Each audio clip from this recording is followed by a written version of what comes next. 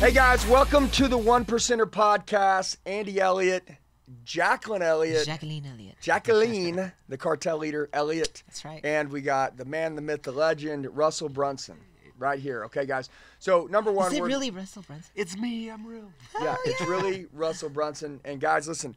So number one, the last uh, four or five years um, since I started my entrepreneur journey, uh, his course, the Broker Blueprint, in 2019, with him, Dean, and Tony Robbins, first course I ever bought, spent three grand, and here we are, a few years later, nine-figure business. I want, I want, I want everybody to know this. All right. Uh, self-development changed my life. It is the secret, right? It's not about what you uh, try to achieve. It's about who you become that determines what you achieve. And I think there's a lot of people that want to win that are watching this. I promise you today, I'll bring more value. Russell will bring more value, and Jacqueline will bring more value to you than we brought on any YouTube video since I've ever posted. I'm going to tell you why. I'm going to tell you why. Number one, because I had a talk with Russell this morning. He flew out from Boise, Idaho, which is where he, le- he lives, left his wife, left his kids to come out here. Um, we, he's met our team. We worked out this morning. He's been out to dinner at our house He got night. quite Uh, the grief. he wrestled my team today, right? We wrestled. Literally wrestled. Like they're all in their singlets out there on yeah, the asphalt. Yeah, you'll you'll see. We'll, we had a killer day. Um, but the coolest thing is, is that I want to go to a conversation I had with him in the gym, right? And um, we were talking about self development. He's Mm-hmm. like, "Hey, man, I want to create uh, a self development museum Mm-hmm. for uh, pr- pr- I don't know if you call it like prime leaders." prime movers. prime Yeah. movers yeah prime movers people that are going to move this next generation that are going to really truly lead people and the only way you can do that is to lead yourself the first law in leadership is self-leadership and then you can lead others right Mm-hmm. Yeah. and so i want to talk about self-development how does anyone right now right um, go if they're not who they want to become if they don't have the results that they want if they don't have the lifestyle that they want to live but they know they're capable of more where where, where do you begin yeah. Where and did you I- start? yeah, and I began um, with my wife. She said, "Hey, buy the course," and I was scared. It was three thousand dollars. Yeah. Um, I had no idea what said on the other side. Matter of fact, I'll even say another thing, and because I want to make sure I get this out there to relate with anyone. On my 29th day, I'd watched the course 10 times. Mm-hmm. I'd learned a lot. I was a new person. I asked Jacqueline if I could get my money back because that's how limited my thinking Get a was. 30 day money back Yeah, it's a mu- guarantee on the day- 29th day. He's like ready to cancel. Oh, Well- that's crazy. No, but I want to tell you why, because this is important. Because a lot of people they see like, oh, these guys got these big businesses, they're killers, they're doing badass stuff, and they don't understand that we were all once not that person. Right. Right. Like, like I just need everybody to know that who you become determines the information, the experiences of the people that you're with, and and the inform and, and the information really, and the people. Right. And I learned from you guys all this stuff, but I- but I had this scarcity mindset Yeah. that there wasn't like maybe I needed this back. Like I, and by the way, if you don't give, you're never going to get. Yeah. I think the secret to life is giving. If you right now don't feel fulfilled, go give something to somebody. You'll feel amazing. I was going to take back what you guys had given me. My To wife, she said back. something really good. This is why you got to have a good running mate. You got to have a good partner. That we're all together. We're family. We're brothers. We're going to grow. She said, "Is that what you want? Is that how you want your customers to future treat you, your future customers when you build your business?" So, She's like, if you're not willing to invest in yourself, then no one's willing to invest in you. And if you're going to invest when these people, and then when they when they give their word and do a good job, you're going to go take back the money. She goes, that's the karma. It's a reality that you're going to have for the rest of your life. For sure, you don't attract who you want. You attract who you are. So if you are the person who refunds, you're the person who cancels. Like that's exactly the client you attract. It's crazy. Dude, Exactly. She made me break that weakness, uh-huh. and I, I obviously didn't cancel it because I do whatever she says. You know, best decision of my life. That was a pivotal day that could have ruined my whole life. And because I stuck through it and I had the abundance mindset and I knew it was going to pay off, self development changed my life. So, what I want to talk to you about today obviously, uh, you built ClickFunnels. Everybody in the world knows ClickFunnels. If you don't know who Russell Brunson is right now, um, it's just Russell Brunson on Instagram, right? I mean, he's got a million plus followers, but he's built a massive company. Mm-hmm. Okay, that's taken over the world. It's called ClickFunnels. If anybody's going to start their own business, you're going to sell a product in any way, shape, or form, you're going to use his product, ClickFunnels, because it is the best. Hey guys, what's going on? It's Andy. A lot of you leave comments telling me that you need help. Do me a favor. I'm going to tell you the best way to get a hold of me. Shoot me a text message right now, 918 210 0254. 918 210-0254. I'll help you with whatever you need. I got your back for life. Let's get back to the video. Um, but I want to talk about like your self-development journey because you know you're a wrestler. You wrestled. I heard you downstairs talking about the day that you had your hand raised in a match, the way that it felt to Yeah. win. Everybody hates losing. And there's a lot of people right now that are winning and kicking ass, and there's a lot of people right now that want to win and kick ass, and they don't know what to do. So I want to talk about our self-development journey, right? Maybe talk a little bit about mine. Jacqueline can talk a little about hers, but I want to talk about yours because you you you really tr- intrigued me with being like, you said I'm a collector of books. Like I try to get my hands on everything. You start and you start talking about like Earl Nightingale and a lot of these guys back from the old days and getting their manuscripts when they wrote their books, and I'm like, dude, whoa, no, but I was like, dude, like you're a real student of the game. Yeah. Like you're a real student. And so talk to everybody. Talk to me and my wife. Talk to, you know, our audience about like about your journey in self-development and ways that you've been able to educate yourself to build such a great life. Yeah, I think for me it started initially in growing up in sports because that's like the first time I'd done something. Prior to me being a wrestler, I was just a kid who'd go to school, come home, watch TV.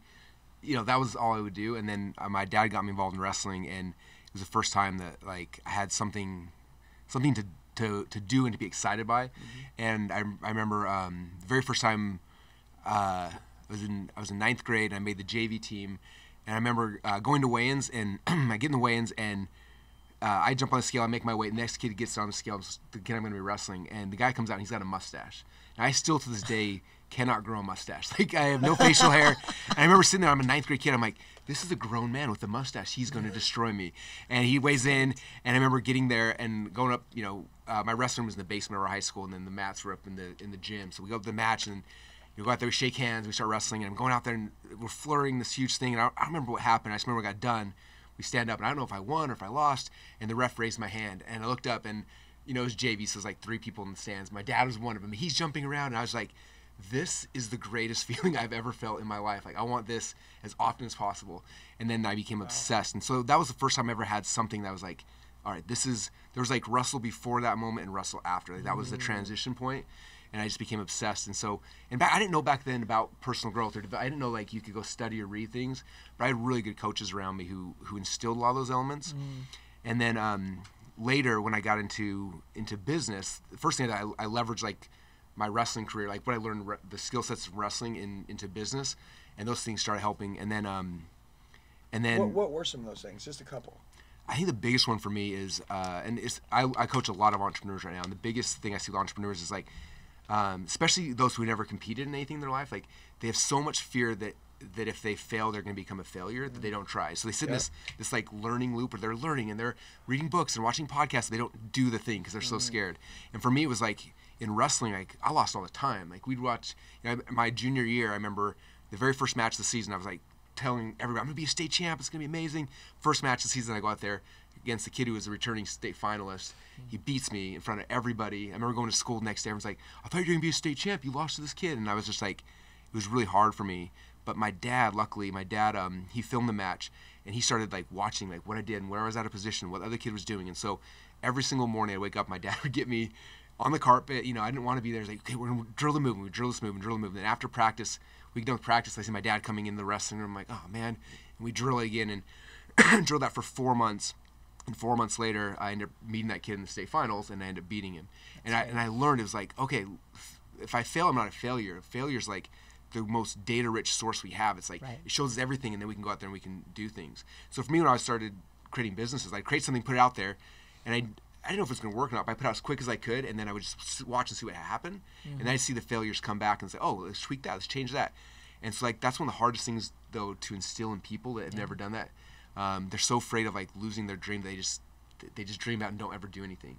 And so for me, that was like one of the biggest aspects I brought into into entrepreneurship and business for me was was really It's huge. understanding that. Yeah, that'll save a lot of people's lives. Yeah, Or make a lot of people make a move when they've been overthinking it. yeah, Right. Yeah, it's like worst case. Yeah, and things, especially online, like you put out something and it fails, like no one really knows. I've had people like, oh, I saw that offer, that was amazing, and I'm like, yeah, you're right. And they're like, all right, they told me like I bought that offer. I'm like, oh, you're one of like three people. I didn't tell them that, but Yeah. they have no idea. Like it didn't work. Like it, it completely bombed. No one else knows other than you. Yeah. It's You're just like it's just testing things all the time. Yeah, you judge yourself more than anybody. Yeah. for sure.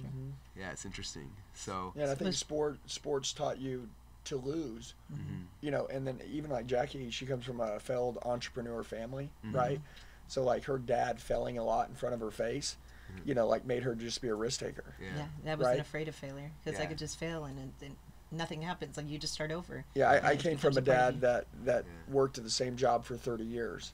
So my goal was to like get a job and don't ever lose it, Yeah. right? And her job was like, dude, if this don't work, we're just gonna start another Let's try tomorrow. again. Try Yes, again. exactly. So we're You see what I completely mean? the opposite. Interesting. Yeah. So we have to break. Well, some people right now they need to break the way they were programmed. The Yeah. generational curses. Yeah. Do you think that you would have been where you are today without your dad like really pushing you to recognize failure and getting better through it or Oh, I don't think so. No. That was a big because like my the instinct for all of us humans is not to go and like and to look at things and you Mm-hmm. know look at your failures and figure things out. He was the one that was just always kept doing that and like again my junior year that's what happened. And I remember when I beat the kid in the finals, I was like such a like I remember driving home. I was like, this is crazy. I can do anything I want. I just gotta try something. I'm gonna fail. unstoppable. If I know where I fail, and then just fix it, and then do it again, and do it again, and and um and that that was the that was the key for me. You know, it was interesting. That's So great. so getting out of sports, you go through college, wrestle, Yeah. getting out, starting your own businesses young. Like, how did you like tell us talk to us how you studied and learned and Yeah. what made Like- you like attracted to that business? Like, did you did somebody else teach you that, or how, how did you come across? So what happened? I told you guys my wife's uh, five years old, five and a half years older than me, and so we got married. She was working, supporting me. I was still wrestling. And I always had this like, I want to be the man. I want to support her, but she was supporting me, which I'm grateful for. But um, but I was going to school full time. I was wrestling full time, so I had to figure out some way to make money. So I did what most people do, which went to Google and like, how to make money. You know, start searching.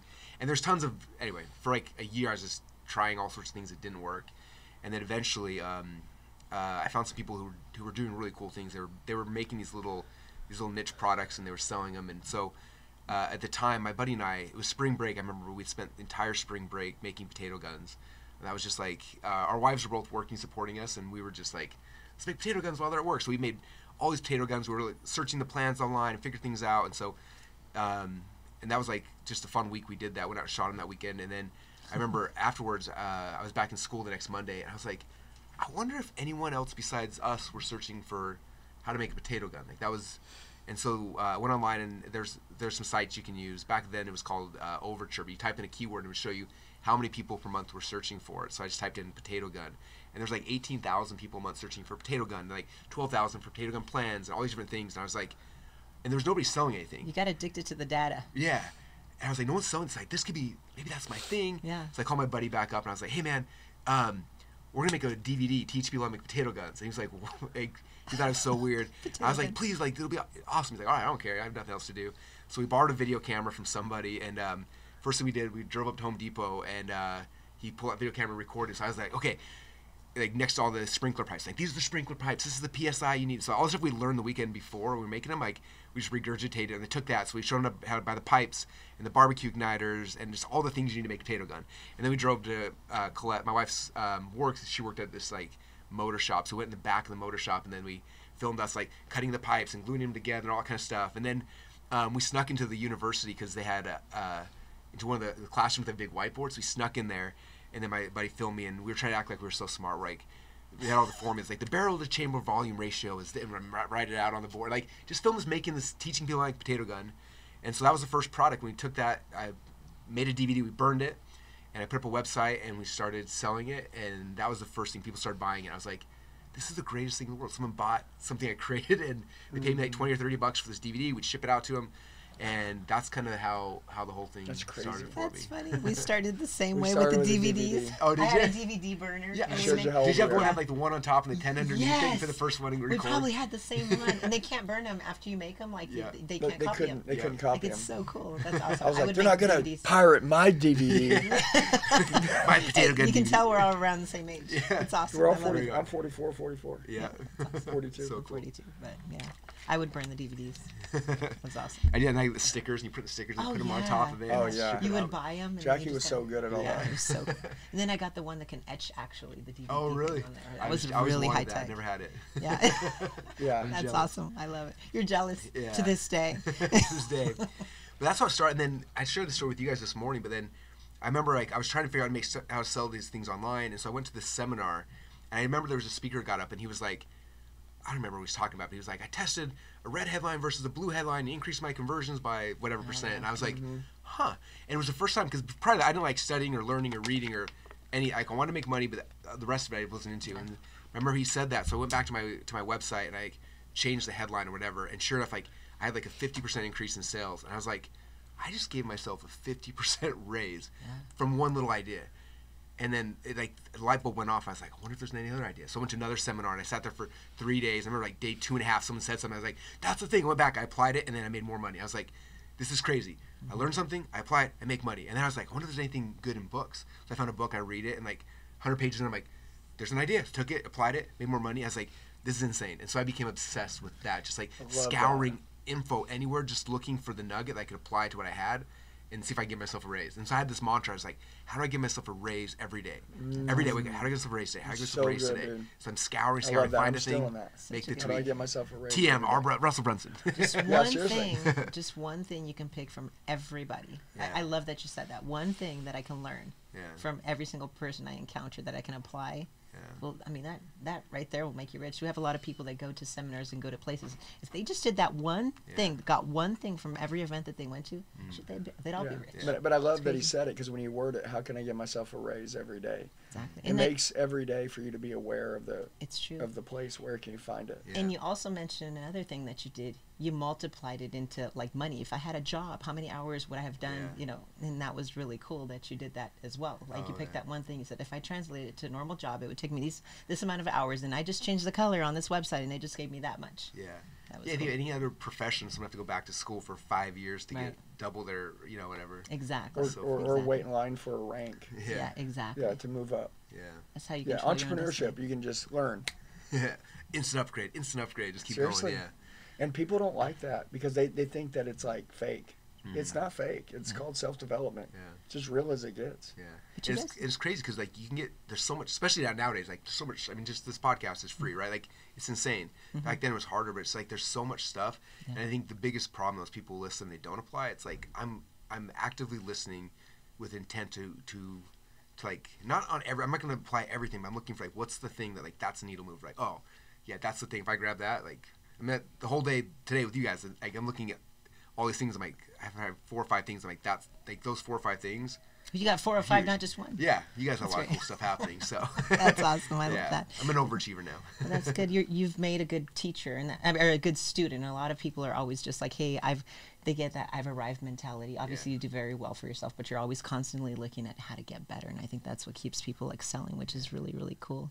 I heard someone one time talk about they called it a teachability index. I don't know if he made it up or whatever, but he was like, when you're young, your teachability index is really high. Like everyone said Yeah. something like you excited, You and then the worst thing happens is like you go through school and then you graduate. Someone gives you a degree and you're like, ah, I'm smart, and then your teachability index drops to zero. Yeah. And that's and the rest of people's lives they stop there. Yeah. I remember he said that I was okay. How do I? I need to keep that whatever that index that window open, um, because I look at. I mean, I love my kids. I got 18 year old kids now. Like when I was 18, I thought I knew everything. Like Right. and I look at them now, I'm like, I love them, but they don't know anything. You know what I mean? Like Yeah. they haven't experienced it, and it's like that's where most people like 18, they graduate high school, they're like they stop learning, or maybe it's 22 and they graduate college, but then it's done. It's like how do we keep that open because there's there's so much growth, and then you see the people who are who are the hyper achievers. It's not that they're smarter or better; they just like are open, like listening and Mm-hmm. paying attention versus like oh, I know this thing. You know?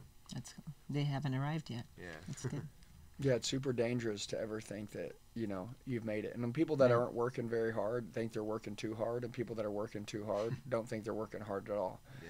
Yeah. You know, people that aren't that smart think that they're the smartest, and people that are super smart, they actually are just looking every day for new information because Mm-hmm. they don't think they know enough. Right.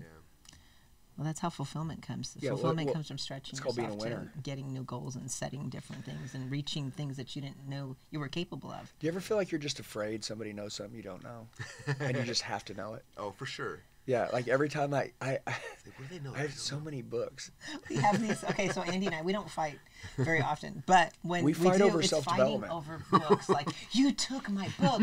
I'm not done with that. Like, hey, quit stealing that. Like, let me finish it. It was like it's the craziest Listen, thing. Where she'll she'll ask me. She's like, Where's the book I was reading? I'm like, babe, I. Uh, she's be like, you need where's me to the make book? the bed, honey? He'll go, you need me to make the bed, and I'd find him like making the bed but hiding, reading my book, and I'm like, you're reading my book. It's the funniest thing. Well, listen, because I'll go to the seminar and I'll like drop something out of a book she was reading. She was like, dude, How did you know that? you're not allowed to read any of the books. I'm I've not read." allowed to tell him what I'm going to talk about ever Because it rip you off. because yeah, exactly. Well, I told you I have photographic memory. he does. So I remember everything you say. I'll never forget anything. So whatever she tells me, I'll remember it word for word, every story, exactly the same way I was told it or read That's it, crazy. and then I'll tell it. so before she'll go speak, uh, she's like, "I'm not." I'm like, "What are you gonna talk about?" She's like, "No ways." no, because you're going out before me. Yeah. And I'll go out. out like he said. He talk. if I don't go before him, gonna- it's a different story. Well, and I won't even talk about what I was going to talk about. I'll just talk about what she's going to talk about. Exactly, does that. You have two presentations just in case. and anyways, That's but uh, but no, self development's the way. So, um, so you so you started learning obviously ClickFunnels. You started started learning um, internet marketing, right? Um, Mm-hmm. Yeah. How to get people to make decisions without really a sales coach necessarily involved face face to face, right? Like people like to buy online. People go on Amazon all the time. But if somebody's got a product and nobody's saying yes to it and it's available for sale, that's a problem. Yep. Then you're going to have to go hire a massive sales team, right?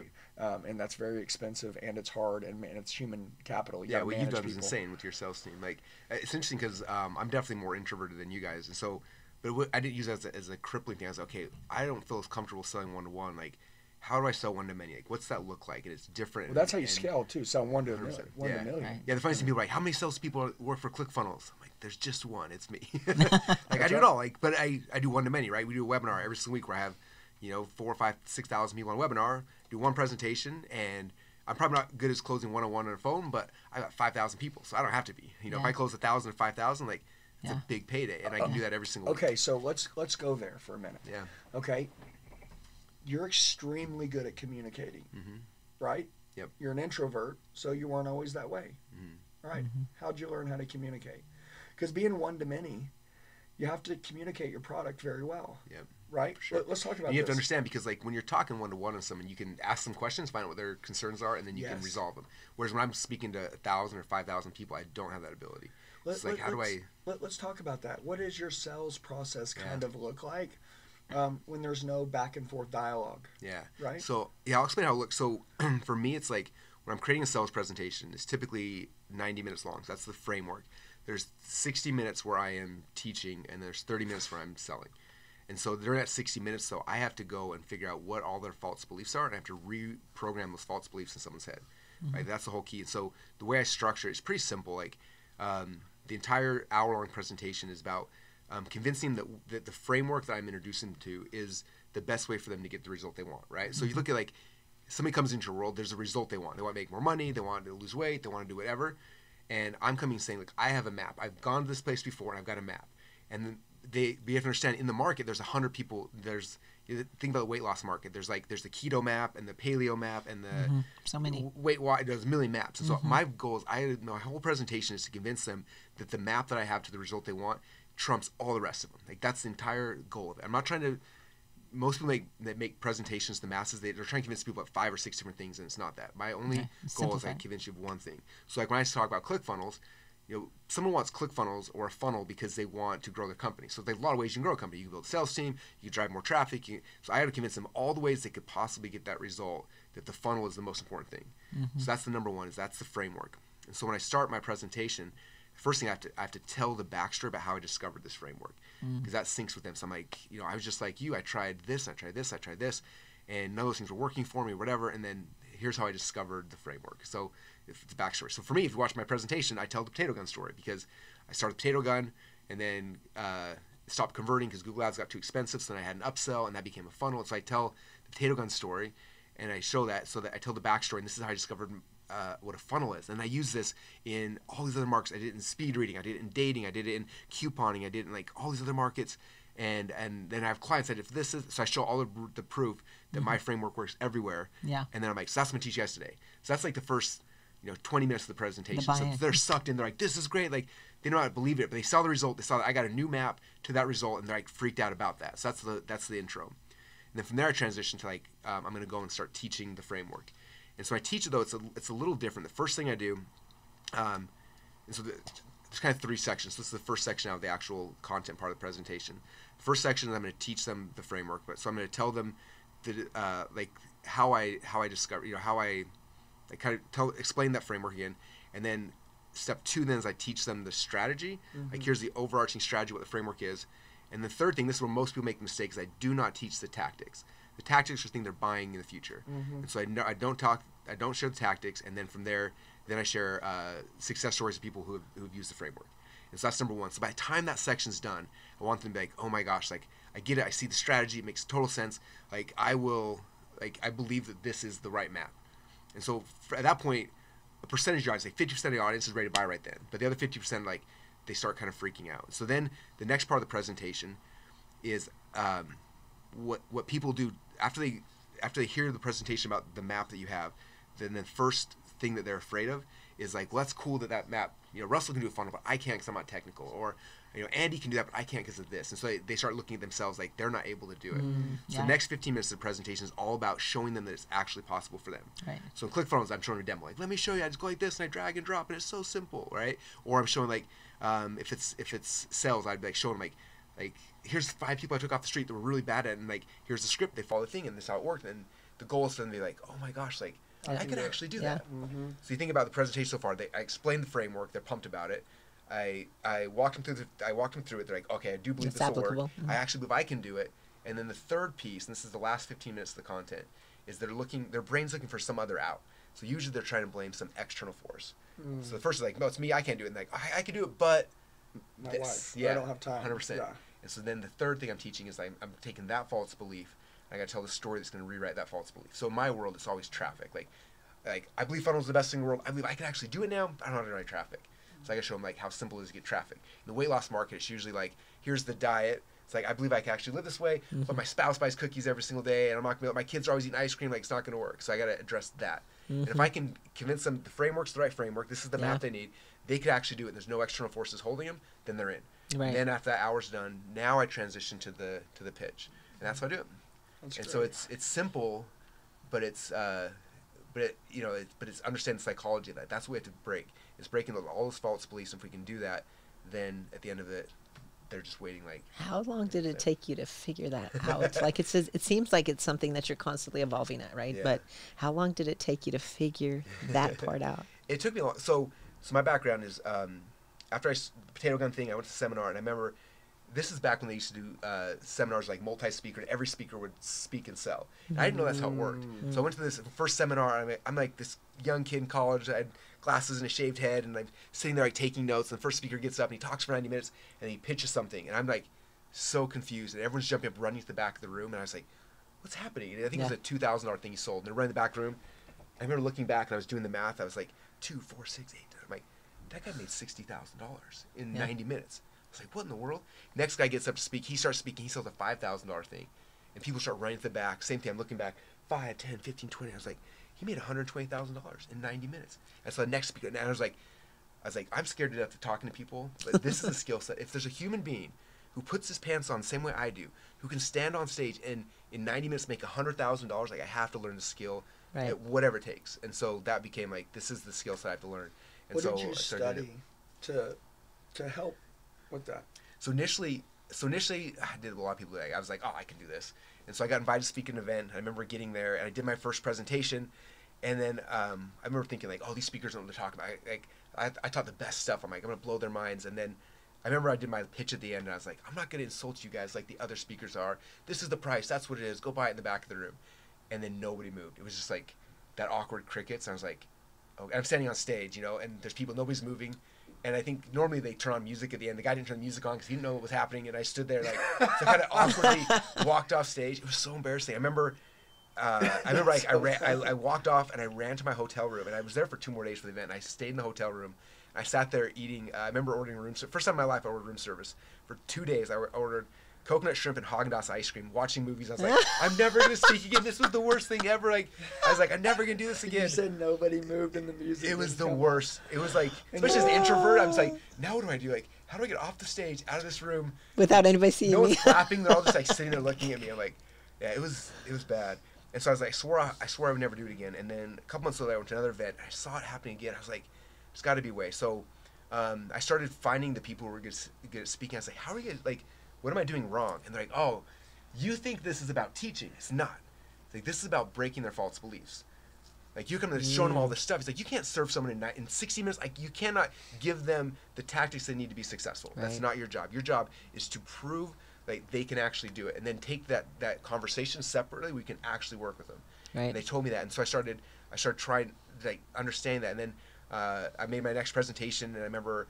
Uh, I asked a bunch of speakers, got feedback, and I did a presentation. That time, I remember I sold six people at a thousand bucks. I was like, six grand, like okay, this is working. Start somewhere, yeah. And then um, for for the next three or four years, I was on the road once a month speaking at some event, and I would always go the day before, and I'd listen to every single speaker, and I'd just sit there and watch them. I was like, what are they doing? How are they doing it?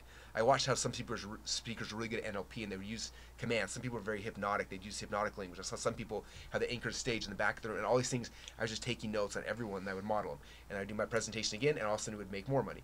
And then every present, every time I get a presentation, I would save the PowerPoint slide, I would put the new date on it, and then I would make tweaks. I'd do it again, do it again, and so it was like four or five years of doing that a couple times a month, and just kept getting better and better and better. And then 2008 hit, and live events disappeared, like they were just gone overnight. And so I was like, Uh. well, I guess I'm retired as a speaker because it was over.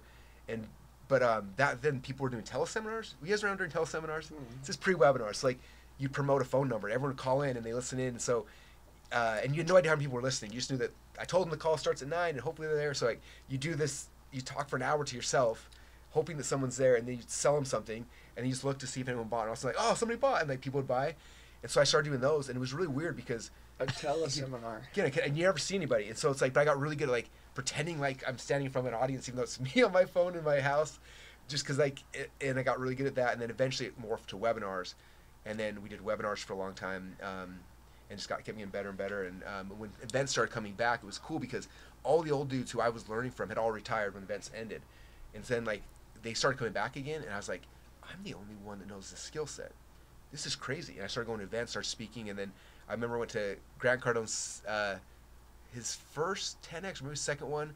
He didn't know who I was, and I got on stage, and all the speakers were selling, and like it's just it was a nightmare. No one's closing anybody. It's just like it was it was embarrassing. So I got out there, and I did it my way. And I remember because I asked Grant, I'm like, I need tables with papers people can like fill out the forms. He's like, you don't get any tables. So I had Alex and Leila Hormozi had a box of order forms on one door, and then Dave Woodward, my partner, had a box of order forms. They had a handful of pens. And I did my pitch, and we freaking closed half of that room. People were running, they're handing out pens and throwing them, and, and Grant came over afterwards. He's like, I've never seen that in my entire life. I was like, I know, no one, knows, no one knows how to do this anymore. It's a dead art. And then a year later, took me to uh, the Big 10X, and uh, we did 3.2 million dollars in sales in 90 minutes, set a world record. Wow. And uh, and now we've trained people in every every market you can dream of, like how to do the pitch, and it's work, it works everywhere. It's flawless. Um, we call it the perfect amazing. webinar because it's perfect. It's just it's a script. It's it's it's awesome. The psychology behind it is just it's really simple. I love what you said um, about killing their limiting beliefs. Uh-huh. Right? You said like step one is Mhm. you first of all you have to attack everything in their life that they believe is Mm-hmm. real. That's not real. Yeah, they have so much resistance coming into it. I'm sure same thing as you're doing the phone, right? Mhm. Like, there's a reason why they're not doing this, and it's like something you have, you have to rewrite that belief. And so, it's me. I have to tell a story in a way where my story trumps the story that they're already telling themselves. They already have stories. So it's been in there for years. Mhm. I got to tell a story that trumps it. Like I think about this. Um, we wrote a pitch for the network marketing industry one time, and like the story of the people who hate network marketing is like I tried it before. I called my friends and family and my mom and dad, and they all hate me. And like and so they have this story of like no, like you you lose all your friends if you're network marketing. And so then I wrote a, p- in the in the presentation wrote a pitch about how like how the the guy who was doing this he, he built this huge network marketing company never talked to one of his friends. It was all generate leads online. And I showed like like no, you don't actually talk to people. Like these people actually will fill out a form, raise their hand, saying they're interested in information, and then you call them and then you sign them up. Mhm. And like and as soon as I tell that story, they're like, oh. That story disappears. Like, there's a better way. I didn't realize that's the thing, and also Yeah. now they're open. Yeah. But I like until I show that story, they're not going to be open because they're fighting me back. Yeah, talking to people who are requesting information isn't a problem. Oh, so yeah, But they're they just raise thinking their about hand. buzzing, but wearing their family out. Yeah. So Yeah. every time I do a presentation, that's the question. Like, what's the false belief they have, and what's the story behind? Like, why do they believe that? Okay, what story do I have that can trump that story, Yeah. and then break the false belief and rewrite it with the new belief they need? It's Yeah. crazy. It's cool shit. Yeah. and then here and then here we It's are. common ground right there. Yeah. Yeah, and you you've uh, you've got five kids. yeah, You're married, yeah, right? For yeah. 22 Twenty-two years. Yep. 22. Going strong. That's You- good. You graduated when you were 18, 17. From high school? Yeah. Uh, yeah, 17, 18. But then you went to college. You went on a mission after college or after high school? I went to so I went to so graduate high school, uh, and then wrestled one year at Brigham Young University, and then went on my mission for two years in New Jersey. Mm. And then BYU dropped the wrestling program. I was gone, so I came back, went to Boise State, and finished my career there. Yeah, I love that. So you you were in door to door sales. Yeah, door to door sales, selling religion. I, I I tell a lot of people all the time like like sales is so good for you. yeah. It's so good. A lot of people see you as a businessman today, and they know you work with technology and all kinds of stuff. You're a great sales guy. That's what you are. You're a great sales guy. Yeah. And And I you think- never gave up. Yeah, and and I think that you know when when you went to be a missionary, right, in New Jersey, um, you know you're selling a very hard product. You're selling religion. Yeah. You're telling people to give up everything in their life. I was telling you last night. The pitch was like, uh, you, you have to give up alcohol, tobacco, coffee, tea, all premarital and extramarital sex, and ten percent of your income for the rest of your life. In exchange, you may get salvation if you don't mess up. Like that's the pitch. Like that's the hardest thing in the world to sell. That's why you look at like the greatest salespeople are all Mormon missionaries. Like they're selling Cutco knives, they're selling pest control. Like all Dude. that stuff's so easy next to you mm-hmm. know what, It's we so what we true. cut our teeth on. And I Yeah. see that. I see these guys making a million, two million, three million a year, yeah, and a lot of them they learned it and in in their, their missionary, and a lot of them went Yeah. overseas. They became resilient. They're used to getting the Learned a- doors a slammed. new you know, well, but they even had to learn a new language. yeah, Yeah. and then selling in a different language. Yeah, and but you said you went to Jersey, New Jersey, It's a little and different language there. and and well, I mean, you, you went from people being you know super loving, everybody waving at you, to being like th- throwing the flipping finger you off. at you. Yeah, it's, it was a whole new world, and it comes back to the whole like failure thing though too, right? Like Mm-hmm. the first couple days I'm out there, like people slam the door, I'm like, oh my gosh, they hate me, and re- eventually I realized like they don't hate me, they hate the message. Like this has nothing to do with me, and I was able to disconnect myself from that. And I think that's a lot of times people struggle with sales because like in the fear of like, oh, They're reject me, they're, if they reject, they're rejecting me. It's like no, they're just rejecting the offer, the the message, not you. And then when you can disconnect from that, then at least for me, it became fun. Like we're knocking on, you know, thousands of doors every single day, and it's like it became a game. Like who can we start a conversation? Who can let us in the door? Who eh, who can we actually help and serve in it? You know, but when you can disconnect yourself from the outcome, it makes it way better. Yeah, you didn't take it personally, and you, it became a numbers game then. Yeah, Yeah. Yeah, I love it. So, um, some skills that you would tell, right, like that you think are super important for anybody to be successful.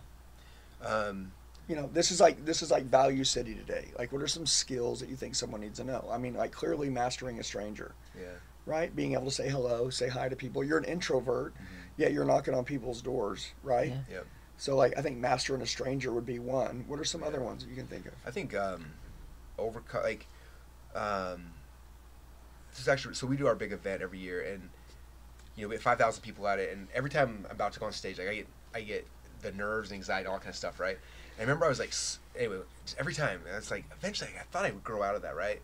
I get so nervous, so nervous, and I remember before I went out, one of my friends, Annie Grace, she's like the number one person on the planet helping people overcome alcohol addiction. She's insane. Uh, her mind is just is so cool. But she told me uh, right before she saw me how nervous I was, and she's like, "How you feeling?" I'm like, "I'm nervous." And she's like, "Do you realize that inside of your body, the the um, the chemicals and the feeling, everything that's released when you're nervous is identical to when you're excited. There's no difference. Mm. The only difference is the meaning you're attaching to it from excited to nervous. And so um, she's like, next time instead of saying I'm nervous, say I'm excited. And so I started doing that. And it was crazy. Like literally, it feels exactly the same. I was like, I'm excited. I'm excited. And then you get more excited. And it's like, that's crazy. So I think that as a skill set, like I'm nervous about the call. Like I'm excited about this call. Like just the the, the meaning you Like attach controlling your shifts thoughts. everything. Yeah. Yeah. Yeah. It's so simple. It's, it's yeah, basic thought control. a But it's just positive shifting out- the meaning. Yeah. Positive Um, outlook on it. Yeah, I think that's such a big skill. So I think fear is what keeps most people from doing everything. Like, It's true. like every single day we have these two options: there's faith and fear, faith and fear, and they're always just like this tug of war against ourselves. Mm-hmm. And Yeah. some days we give into fear, some days we give into faith, and it's just like the more times you can you can overcome fear and go into faith, like that's how you how you level up every single day. Um, But it's so that's that's the battle, right? What are some love things you think you need to stay away from? If you want to make it, stay away from these things. um, yeah, Like some things that some decisions you've made by by by maybe doing them wrong Mhm. and then learning. Like, don't do that. Trust me, I did it. Or Yeah. like just to say, hey, I you know I didn't do it, but I watched a lot of people do it. What are some things? I think the biggest one I see this all the time is um, just what you put in your body, like alcohol, um, Like smoking, drugs? like Mhm.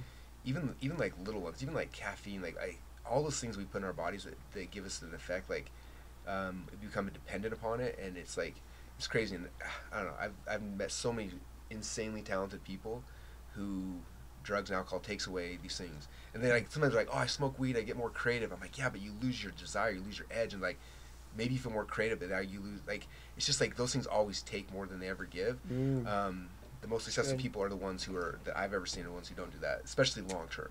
Um, so I'm a big believer in that. I try to, to protect myself, my mind from those kind of things. Um, I think the biggest problem people have, one of the biggest problems is uh, people are skeptical. Like I've never in my life met someone who's skeptical and successful. Mm. Like they're just they're they don't go hand in hand. You know what I mean? Yeah, they're not risk takers. Yeah, and so it's like people are like, "Oh, I'm skeptical about this." I'm like, like I know exactly where you, like where you function your entire life because, yeah, people are skeptical are never successful. So it's like, and yeah, sometimes you'll get burned, but I'd rather get burned Right. uh, one time out of ten and actually, pers- you know, progress moving forward versus, versus the opposite side Staying the where same, yeah. you never move because you're so afraid of, of it. You know, fear of faith. It's like ah, like I'm gonna do my best, make the best decisions, and and I mess up a lot. I'm sure you guys do too, right? Yes. all the you bring on the wrong partner, the wrong person, or whatever, and and um, but the fear of not doing it's almost worse. It's true. Probably is worse. It is worse. Yeah, for sure. Yeah. Doing nothing is a lot worse. Yeah. Mhm. Yeah. For sure. Um, Very similar in our journeys. I think the more you similar. talk, Uh-huh. it's crazy how you know we identify so much with what you're saying. It's Mm. just crazy. It's awesome. Um, what about God? Mhm. Let's talk about God.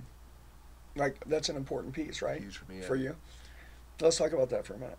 Yeah. So because I think that's important to share with people because that's a foundation in our life, and I know it's a big part of yours. Yeah, a lot of people hide that, and I don't think that. Yeah. To you, it's like so important, and to us, it is as well. So it's like, yeah. you know, why not? Yeah, let's talk about it. Yeah. So for me, it's interesting. Uh, I had a really good coach, luckily, who points out to me. But my whole life, I thought there's like, here's me, like Russell doing his business, his mission, whatever you call it, and then there's like Russell who's spiritual, and like these are two different worlds. my- Like my Mm. life, like they did not. They're different things, different parts of my life. And it wasn't I had this coach, and it was interesting because she was talking to me. and She's like, "You don't see it, do you?" Mm. I'm like, "See what?" She's like, "You don't really like. You don't see that like what you're doing here is 100% connected with what your spiritual mission is. Like it's the Mm. same thing." Yeah. And I was like, "What are you talking about? I help people build funnels." She's like, "No, no, no." She's like, "You help people make money." I'm like, "Yeah, make, make, make money." She's like, "You understand? Like when people make money, then they're able to like not have the stress anxiety of like trying to survive, and then they can grow. They can help people. They can serve. They can do things." She's like, Mhm. "She's like, what you are doing is something God wants you to do because it's like releasing people so they can be the people they're called to be." Mm. And that was the first time I ever connected those two things Mm. together. And the more I thought about it, I was like, what I realized and what I, I believe like deep in my heart is like every single person who comes to this planet like is called to serve a group of people. Like and based on our, our circumstances, our trials, our errors, our mistakes, all kind of stuff, it's like there's a group of people who are specifically called that we are supposed to be serving. Right? And so for me it's like like I know who my people are. Like they are I call them my funnel hackers, but they're my people that's who I've been called to serve. And um and I think everyone's got that. And most people don't ever don't ever pursue that, but we all have that calling. And the scripture says, "Many are called, but few are chosen." Right? Like, why are they not chosen? Because they're not willing to step into that. And I think we all feel that. We feel that that pull, and most people don't don't follow. So for me, like, I'm a strong believer now to my core that like God, is- like this is the calling from God that these people have been called to serve. And and then what's interesting inside of that is, um, is and this is this is the thing a lot of people who, who try to who try to serve people like they, they struggle with is like well, I'm trying to serve people but some people aren't listening or they're angry or they're mean to me or they, they talk Yeah. trash and like there's all that kind of thing and and I remember I was struggling with that too one day and I was reading in the scriptures uh, Christ was talking and he said that um, he said uh, my sheep will hear my voice and will Mm. be one fold with one shepherd and I remember thinking that I was like thinking about with Christianity like Christ was there he put his words out into the world and his people found him and they they followed him right and that's and that's been happening for, for years. It's like for us, it's the same thing. Like it's a it's an eternal principle. Like like we put our words out there, and then our sheep will find us. Our people who've been called to will find us if we're willing to put our words out there. Right. Which is why podcasting, video, all this stuff is actually really really important because it's you being able to gather your sheep. And it doesn't Right. mean that you're gonna gather everyone. Like there's people that are not my sheep. You go into Google and go five or six pages down. Those people are not my sheep. They hate me. They don't like. You know, there's people that don't like me. I understand that. I'm okay with that. But like mm-hmm. my sheep, like they hear my voice, and so it's like all I gotta do is I gotta put putting my message out, putting it out there, putting it out there, That's and my great. my people will come to me. That's I think that's the biggest thing. So for me, it's like like what we're all doing is is bigger than I think any of us actually realize. Huge. I love And so it's like, but yeah, and so like my biggest fear now is like I don't want to someday, you know, when I return back to God, He's like, dude, like you could have done so much more. Like there's Right. this, these people, your sheep are out there, and you quit or you stop doing it. right. I ask all the time, like, why are you still doing this, Russell? Like, you've been doing this, you know, I'm 22 years in this business now. Like, you don't need it for money. I'm like, yeah, it's it's this like constant for me. It's just like Yeah. I, I have a Living your true and Those are my people, and I got to figure out how to serve them. So that's Yeah. I love I love how he how he says that though. It's like you know we talk about being one dimensional and, and really focusing on business. Like it, it's in everything. It's in, it's in your belief in God, but it's also in your marriage. You don't we don't separate any of that. We are who we are, and we grow everything at the same time. You know, with our people and everything. So it's it's really it's all cool. one unit. It's all one unit, and that's how Yeah. you really have sustainable growth. Because we've made money, lost money, we weren't on the same page, and then you know things happen. But I mean, you don't have we don't have actor switches where we're like, hey, we're gonna show up to work and we're gonna act this way, and then turn it off and be different. No, if you really love what you do, and you really believe that you're fulfilling a calling from God and you're helping people, I mean, you're gonna share it with everybody. Yeah. And it's pretty awesome that you do that. So I think that that's cool watching you guys like I've never seen anyone do as well as you guys with like between your family and your kids and the company like just me coming here I was like this is like all your kids it's insane like they are you know our what I mean? kids. It's such a Everybody, cool yeah, thing. it's awesome. um, it's really magical you guys Yeah. created Well, Thank we you. always say Thank like, you. if you can't find it, build, it. yeah Yeah, build it. yeah Like, like you can build it. You can do whatever you want if you can think about it. Like we're visionaries. I mean, everybody's a visionary, but like you said, most people see a dream and they don't do anything with it, so they just hold on to that dream and then they don't do nothing, and then one day they're gonna regret. yeah And uh, me and Jackie, you know, you can think about what you've been through and think what were the good and then what was the bad. Yeah. And then we thought, man, how do me and her function the best? Out of love. hmm And love is Christ like, but love, like it's all love. Like me and her, we have we feel no stress when we're love. When me and her are close, we have no worries. Like, dude, when we're separated and then there's a problem, it's like it eats us alive and makes us sick. Yeah, and it becomes a bigger problem as well. It's like you're you're talking about the people that don't like you or whatever it is. We focus on those people. We're not doing enough to actually change. So it's like we are talking about stress. Like I used to stress out about a lot of silly little things and, until I got a lot of stuff to do, and then those things were nothing. You just Yeah, become adaptable. yeah. So it's it's all about well, and the plus when we stay close, I mm-hmm. mean, like, so our team, the more, the closer that we all are, the more powerful we all are, mm-hmm. right? Yeah. And um, you know, I think that's the key, man. I think like you know, building your unit, building your people you're going to do life with, Yeah. and I'm a I collect people. Mm-hmm. So people may say, well, that's weird. no, no, it's actually not weird yeah. because like I know who I need around me. I know that I need. Look, one friend in my life right now is dying out. And I don't mean like physically dying. I mean they're giving up, they're stopping, they quit believing, they don't want it as much. I don't know. They're full. Dude, I wake up, I, I go to bed, you know, exhausted, I wake up starving.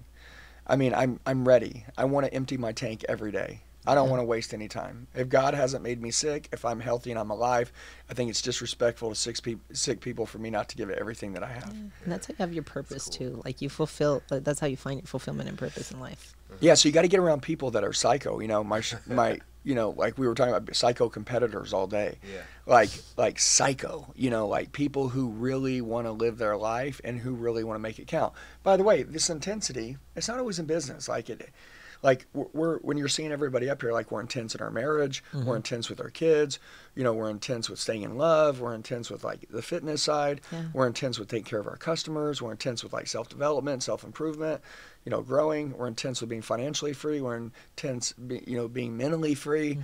You know, we're intense taking care of our our, our friends. Yeah. You know, we're you intense. keep it new you know it's like we always talk about what what creates burnout. Well what creates burnout what did you want to do? What did you want to prove when you first got that job or that career you started your business? You wanted to prove that you belong that, that you were going to outwork everybody when you got with your with your wife. You wanted her to look up to you. You wanted her to admire you. You wanted to, her to you know you wanted to prove yourself. All these different things you know when you became a new dad what did you do you wanted to be the best dad in the world all these different things people lose their purpose when they quit trying to prove themselves. So we're constantly trying to stretch ourselves to grow. Mm-hmm. love seeing prove and prove it- that's what we do. We can't let we can't get burnt out because we don't let the newness wear off. So that's that's that's how day one, baby. It's day one every day. Get married every day. Yeah, it's day Yeah. one, and it's your last day. Yeah. Like I, I was telling everybody, I was in uh, Boise, right, and which is where you're from, and you were flying here, I was flying there, right? That's so funny. Yeah. And I, can't was, I that. was telling, um, is CBH Homes or something like yeah that? What? Barton Homes Yeah, and um, there's 70, 80 percent women. oh really Yeah, it's it's like a fu- all like female alpha team. Uh-huh. And I said, ladies, let's That's just pretend that it was your last year you were going to live, and you knew it. What would change? What relationships? How would you work? How would you take care of yourself? How would you want to go out if everybody was going to remember you and this was your last year? Yeah. You know, would you lay low or would you go hard as hell so everybody could To leave your you know be remembered, you know, of, of how much you cared, how much you gave, you know, your vision, your thought, you spoke your mind, you you changed people's lives. I'm like, come on, that's that's how we got to play. Because the truth of it is, is that look, dude, it could be our last day. You know, we could shoot this podcast and I go drop you off at the airport and die on the way back. Mm-hmm. I don't know. It could happen. We see it happen all the time. Like shit happens. So it's like, dude, I just don't want to be that that person that's like disrespectful of the fact that we're still healthy, we can give all we got, and you know. And if you're supposed to be dead, you'd already be dead. Yeah. But if you're alive, somebody's watching this right now and they're like, oh, I don't feel worthy. Dude, listen, you wouldn't be here if somebody didn't have something big in store for you. Hmm. Now, the devil is trying to kill, steal, destroy, and crash everything in your life. And God's like, come on, wake up, go find yourself a buddy. And that's when it says, like, iron sharpens iron. Like you came down here, us getting together, you know, you meet my wife. I mean, every time, everything from us, you know, from eating dinner last night to working out this morning in the gym to being here to going to lunch, she's been with me the whole way dude, you can choose to do it however. How many guys do you go and you see and you meet them or you get together, but you don't see their wives a lot? It's like, dude, like we're gonna roll till we die. Like we can do anything the way we want it. We can create whatever life we want. I was going on a private jet one time where this guy's like, hey, I want you to go on this private jet. There's this big like hundred million dollar deal. I want you to be a part of it. And I was like, cool, man, let's go, let's do this. I was like, yeah. And then um, he's like, okay, awesome. I was like, yeah. Remember, you got to add my wife. Remember, Jacqueline will be there with me. And he's like, oh yeah, it's it's just guys. Like we, you know, what I'm saying, like you know, hey, we love the wives. That's cool. I'm like, well, this ain't my wife. This is my everything. She rolls, or I don't roll. Mm-hmm. And she was there, and uh, and he's like, yeah, but I was like, dude, there's no buts. If she ain't there, I ain't there. Uh-huh. And and he's like, no, we made it, and we're like, no, we don't want to go now, because like I can feel. But that then he met me later go. and he loved me. So it's cool. Yeah, yeah, but but but my point is is that is that people don't understand that you can have what they've never seen. Mm-hmm. Okay, and I think that that's the cool thing. Like you built ClickFunnels, right? No one saw it. You mm-hmm. saw it. You created it. You found the right people, right? You found the people that could help you build it. Yep. You know, you love those people. You take care of those people. You want to spend more time with those people. And but sometimes people got to go too. I think only some some people are on with you for a season of our life. There's a guy I started our company with when we first started it, and I'm saying like it's totally cool. People change over time. Look, you can't make people good people. People got to want to be good people. Yeah. There was a guy who was an alcoholic. He drank all the time. He almost got a divorce. He was his kids hated him, and we turned him around, got him to stop drinking, made them fall in love with each other, got him to be a great dad. And then at the end of the day, he just Lost wants to go back to his purpose. whole life, lost his whole purpose. Hmm. But my point is, when that happens, you know what you do?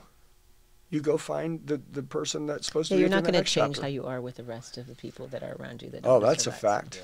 A lot of people get scarred, and they don't let those scars, those scars, you know, heal. They, they're, they, you know, it's like your failure you're talking about. Like when, if you would have failed and you wouldn't have kept chasing what you were Mm-hmm. after, then you wouldn't be here today. You know, you need to keep going, and you need to keep proving that. And we, the, the team doesn't deserve it. We have to show them massive amounts of love. So what do we do? We go harder. We show them more love. Dude, I love We it. When shit don't sleeve. go as planned. Means I'm you're alive. You get hurt. That means you're alive. That means you have a heart. Yeah. That means you, that God gave it to you so you can use Well, it. Well, also like you got to look at like you always got to have this mentality, and I think you know we've been talking about self development the whole time, like things that we've learned, things that we've studied, but like also I think to to end like on this on a good note, like um, or on on this note, like you got to find the good in everything, Mm-hmm. right? For sure. Like you got to find the good in it, you know. Right. Like you know, I'm always like, where's the good in this? And when that, I'm just giving an example. The young lady that we went to lunch with, right? That you met, she's super cool, right? Yeah, it's awesome. when that guy left, she showed up. Hmm. Twice as much. We made a million dollars after that happened, additional per month, Uh-huh. Mm-hmm. right out the gate. It's 'cause her, uh, Hey, no, no, it, she. It was time to roll. It was. It just shows you when someone rolls, right? Someone else is coming in. You know what I'm saying? Like so, instead of me saying, "Oh man, that sucks," it's like, "Man, God's got something better for us." It's always Like that's what I'm saying. Like God's got something better for us. So, you know, and or or maybe not something better, but maybe you know, there's like this needs to happen now. yeah. But You know how many saying? people get turned off with the idea of you know going and chasing their full potential or doing something big because they have a bad experience? Like that's just the thing. That the whole lesson of this is. You just got to keep going. If you if you feel called to do something, you can't let those things stop you. Yeah. You have to just keep keep running with and rolling People with the that punches. don't quit eventually get what they want, yeah. Yeah. right? Yeah, I thought it was a lot. Like I thought about like just even the ideas. Like I feel like God gives us ideas or gives us something, right? And He's like testing to be like, I wonder if Russell's gonna be a good steward of this idea, right? Mm. So for me, he's like, he gave me a potato gun idea, like, Mm. and then I did it. He's like, oh, he did something with it. Like, let me give him another idea, it's a little Mm. better. And he gave me the next one, and the next one, and eventually through that process, I became worthy of like, oh, here's ClickFunnels. Mm-hmm. You know what I mean? But like, but he's trying to see because how many times you like had you see someone do something like, oh, I had that idea too, and it's like, oh crap, like I didn't do anything with it. That guy Oh, that's did. good. And so I always think about that like I've, as like I feel like God's giving us ideas to see like, are we gonna be a good steward of that? So for me, it's always like the same thing. Like if something shows up, like I'm gonna do it. I gotta do it because otherwise someone else is gonna do it, and then I proved I wasn't a good steward. And the next idea is not gonna come. The next one's not gonna come. Like Yeah. I want to make sure I'm a good steward, so the next one will keep showing up in front of me. And uh, anyway, I was That's thinking so about that all good. the time. Yeah. Even sometimes I get an idea, I'm like, I don't want to do that one. I'm like, ah, all right, here we go. Right. You Yeah. know, a lot of a lot of times, I mean, it's timing too. You know, when you, when you do do things. I mean, I wrote something about that a while ago. Like, we get so many opportunities that come our way because I mean, we live in the United States. I mean, you you have so many opportunities, and we don't take action. We just kind of just let them fly by, you know, and then you become, you know, kind of like scarred to that like you don't take action because you be you be you're not open to it you don't you're not your eyes aren't in tune with that so the fact that you decided to be you know that that means that you were in tune with that so in turn you get a lot of opportunities to do different things which is really cool Well, especially like you said, when you're when you're an action taker, everything goes back to that you've taken action to everything in your life, mm-hmm. and that's why you got what you got. yeah. You know what I'm mm-hmm. saying? yeah Because you execute. it's like people that you know are learn you know how to achieve success. You know they can go broke and then they'll make it up again. Like and then people that really weren't meant to be successful you take it away and then they stay broke you know? So if you really know how to do it you can rebuild your wealth over and over and over. It doesn't matter what obstacle you run across. It doesn't matter what the economy does. It doesn't matter how many covid's hit. It doesn't matter. You're going to rebuild every single time. Yeah, and I think a way. lot of the times too. We'll say one last thing. When you were when you were uh, had these ideas, potato gun, this, that, this. i all remember these when ideas. oh my gosh i But- remember that But but you know how many times do you have an idea and people like say like that's stupid, Yeah. right? All the time. Yeah, all the time. And so at the end of the day, I think like on your entrepreneurship jour- journey mm-hmm. is that when you're pursuing something, like understand it's just part of the game mm-hmm. that most people in your life aren't going to support you. Yeah. Mm-hmm. Okay, like you have to understand that, right?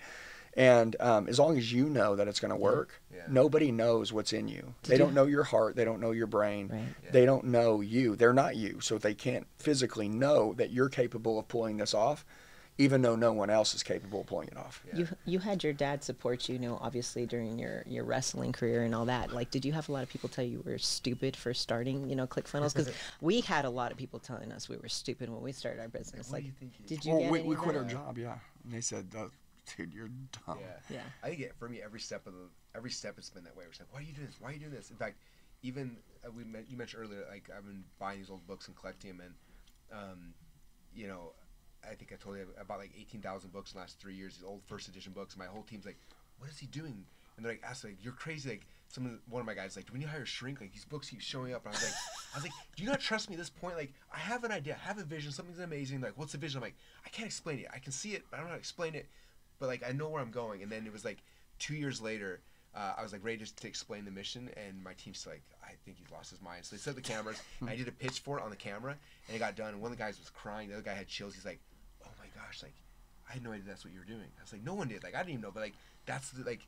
I don't always know, like I don't know the end of it. I just know directions. Like that's the direction I'm going. Again, the Well, idea shows up, visionary. show up, show up, show up, and then eventually it becomes clear. But faith, you know, faith. That's how faith works, right? Like you don't know the path, or it's not faith. Like oh, there's a path. It's not faith. That's, Yeah. that's knowledge. So faith is like, I feel like I'm called to go that direction. I don't know hmm. what's over there. A bunch of fog in between here now. I'm gonna take a step, and then the lights. Then you take that step, and the fog clears a little bit. You're like, okay, take another step, another, step. and that's what faith is, right? And so for me, it's like it's that way with all these ideas. Like even ClickFunnels, it was like, you know, when we started, it was like, I don't know, people are gonna buy this thing, and then we, you know, spent eight months trying it, and then we launched it. No one was buying it. We tried the next thing, and it, I was like, I, we went this direction for a reason. There's gotta be something here, like hopefully, because we're pretty deep into it now, you know. And then sure enough, eventually, if you just keep pursuing it, then it's like, oh, it all starts making sense. It's badass. Anyway. I love it. That's good. Do you have a good support system along Yeah. it? That's great. That I have got an sounds good. amazing wife and kids, and then uh, really good partners and people around us. That, um, yeah, it's nice because they let me do stuff that's crazy doesn't make sense to them Yeah. a lot of times, but they trust me now at this point where it's like, you know, which which helps. And that's hard initially. You know, before you had success, it's hard because people don't trust you, don't You have believe to prove first couple yourself. times. Yeah. Mhm. Um, so you just got to kind of do it, and you got to be your biggest cheerleader, big- biggest believer at first. And I think it's not giving up. It's like for me, it's like I, like I know this works. I know it's gonna work. I know it's gonna work. Yeah. I remember thinking about when I was first starting my business. I was in college and, and I was watching these other people doing. it. I'm like, they can't be that much smarter than me. Like even if I did half what they were, a tenth what they're doing, it would still be amazing. They can't be that much smarter. So I kept trying and trying, and then eventually it was like, oh, it worked, you know. And um, and then they all become, you know, the same people that are teasing you one day, and the next day they're asking for a job, or they're telling other people how they met you one day, how they used to know you, you know. So that's, That's it. cool. Yeah, I bought your training course. And now we're wrestling. yeah, you didn't wrestle hanging out. I know you I didn't know. wrestle. He's not a wrestler though. No, I'll wrestle. I'm just not any good at it. I look. I, I I know this. I know what I'm good at. I only take bets I know I can win. He right? does. That he's really I'm a good sales at guy. I only take bets I can know I can win. So if I'm like, I'm, if you know, like number one, I fought a lot as a kid, Uh-huh. but I damn sure wasn't an MMA fighter. Mm-hmm. Okay, and we're in an era right now where there's a lot of MMA fighters, so I'm not trying to Everyone's fight training, anybody. yeah. So, but I'm really good at selling. So I like selling. I'm really good at communicating. So I like communicating. Um, You're also I'm good at triggering people. yeah, I'm good at triggering. Just people. saying. I, I like doing certain things. Um, wrestling. I mean, I wrestled as a kid, but I didn't wrestle wrestle. You guys wrestled every day. I'm not going to wrestle somebody that wrestles every day. I'm going to lose. There's no way. And that's I'm going to do now what I'm good tickle Andy Elliott and he will kill. Like Oh, he's yeah? not. Yeah, if he's, you tickle if me- you tickle him, he gets violent. I have some superpower violence that Yes. comes over me. He that- is one that you Okay. can't just be like, hey, He's like, boom. I'm like, okay, we're not doing that again. Like, Yeah. Note to self, don't yeah, tickle. we've never gotten violent, but he will get violent if you tickle him. Don't tickle him. Yeah. So, but so I think I like to take bets I know I can win. Yeah. You know what I mean? Yeah. And uh, I think entrepreneurship is a bet that everyone can take. Um, even an int- entrepreneur is is awesome, right? You can blow someone else's business up and be massive. Actually, I think that's the best way. Right. And then being an entrepreneur, if you want to really be the massive risk taker, just know you're just going to have to not quit. Right. You know what I mean? I think anybody that's smart, 99% of the people should fo- be a, an entrepreneur for an entrepreneur and just become great. Yeah. Just become the greatest son of a bitch in that company, become a really good leader. And even if you want to be an entrepreneur eventually, I think it's the best way to start. Like I wish, had I understood that, I would have gone an internship with somebody and like done that for a while. Mm-hmm. You know, I tell people I would work two years for free. yeah, I would have loved to w- found someone that I looked up to and worked for them for two years for free, hundred percent. Yeah. and that would have put me 20 years ahead of everyone else. Right. You know what I'm saying? You know, because you can't you can't get close to people like that, Right. but for free. And if you're a good dude, yeah. maybe it's maybe it'll work. Yeah. But, um, that's actually my business partner Todd. So when he, when I first met him, he came started programming for a year. He worked for free. Didn't, didn't ask me for money once. Wow. And then um, eventually we started paying a little bit because we didn't have much money time. And then two years later we had it for ClickFunnels. And he's like, I w- I don't want to be an employee and be your partner. And I was like, all right, let's do it. And the rest is history, you know. But He was- gave was first. Smart. Dude. Yeah, I, I couldn't afford it when he first came in, and so he didn't charge me anything. Just Dude, shot that- everything served. That right there, that's that's the lesson of the whole podcast. Yeah. He gave value. He proved his worth, and then you always say you always say you'll never out earn, um, you know, your value, right? So you know you you, you got to build your value up if you want to make more money. You increase your value, Right. and he obviously increases value big time with you, Yeah. and you're like, dude, I owe you. Yeah. You know what I'm saying? Yeah. And I want you because you saw his heart too. You know what I mean? And most people they want the money before they want to do the work. It's pretty rare Mm-hmm. Yeah. that people actually put the work in first before they want the money. And our whole team moved across the country not knowing what they were going to get paid. No, they No one even- They, well, they, didn't even. They didn't even ask. Really? Yeah. Yeah. but they didn't even ask. I mean, all of our guys were like, we were, I was like, hey, you know, I'd like to bring you on the team. They're like, done. I'm packing my shit. That's why we pay I'm breaking my lease, selling my house, shipping my cars. for not asking. Like, Yeah, and they all moved, and really and they got here and they worked the first month. They didn't even ask. Jackie gave them a check, and they go, "Dude, I didn't even know we were gonna get a check." And Jackie's like, "Well, of course you're gonna get a check," and they're like, "No, I didn't even really care. I just wanted to be here. I wanted to help That's people." amazing. Yeah, it, I swear, every one of their stories. Yeah. So, um, guys, so entrepreneurship, right? Study leaders or readers, right? You're a hell of a reader. Um, you know, study people that are you know alive still, kicking ass, and study people from a hundred years ago. Um, study everyone, right? Yeah. The, The world's your library. library. If you know what you're looking for, it'll give you what you're looking for, Yeah. right? If you want to be great, study the greats.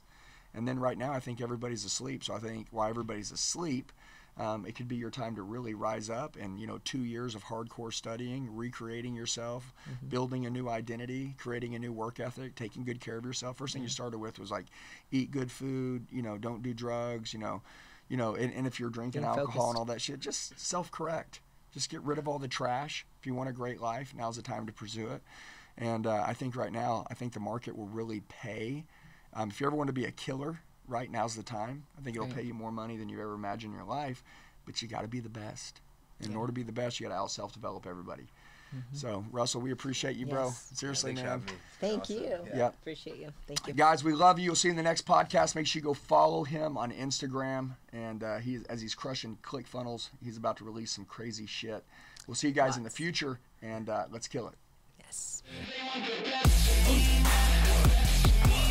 Hey guys, I just want to tell you, you're the true one percenters. You made it till the end of the video. Do me a favor, share it with the friend that wants to go to another level. Make sure you like the video, comment below so I know who you are. Set your notifications, and then subscribe to the channel. We got daily sales training videos dropping. I'll see you soon.